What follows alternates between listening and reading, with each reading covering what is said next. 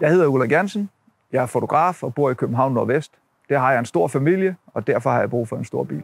Det, jeg synes er det smarteste ved EQV'en, er, at det er en elbil med masser af plads. Jeg har tre fodbolddrenge. Det er super fedt at kunne lukke dørene op, fylde den med friske fyre, der skal til kamp. Syv stykker skal vi have med. Det er blevet klubbens officielle turbus. Vi er en aktiv familie, og jeg selv kører mountainbike, og det er super nemt. Lige kunne slå klappen op, to cykler ind bag i, og efter 20 minutter, så står jeg i Rudeskov, klar til at give den gas. I det hele taget er bilen her noget, hele familien bruger til alle mulige ting. Udover at være en familievogn, så er det også en arbejdsbil, som jeg bruger hver dag.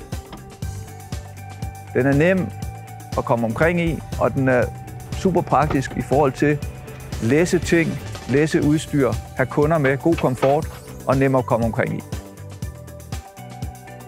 Det fede ved en elbil er, at du bare sætter dig ind, kører fuldstændig smooth afsted.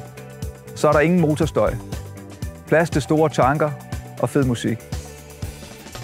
Men samtidig er det også vigtigt for mig, at det er en elbil, der har en rækkevidde, der gør, at jeg faktisk kan bruge den i hele Danmark. Vi har nogle unger, der interesserer sig rigtig meget for klimaet og bæredygtighed, så de har selvfølgelig været med til at tage beslutningen om, at vi skal køre i elbil. De synes, det er sjovt at tanke den op, når vi kommer hjem, så nu er det faktisk blevet deres job.